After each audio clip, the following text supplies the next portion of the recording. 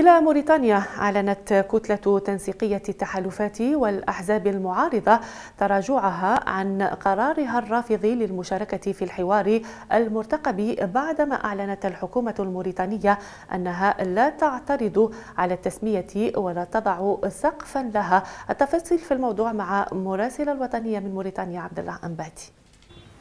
الحوار والتشاور وجهان لعملة واحدة.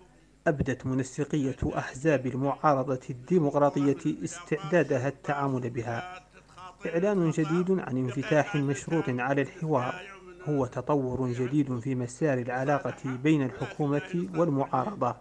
أتى بعد مسار متعذر طويل. التشاور على ما هو قائم من من من خلل دنيوي في بعض المؤسسات الداخلية للبلد هو الذي حالا آه، بحاجة إليه البلد آه، حاجة ماسة. الحكومة الموريتانية أبدت استعدادا لما قالت إنه مقترح لقوى سياسية متعهدة في الآن ذاته أنها لن تحدد سقفا تاركة الأمر لمن سيشملهم الحوار.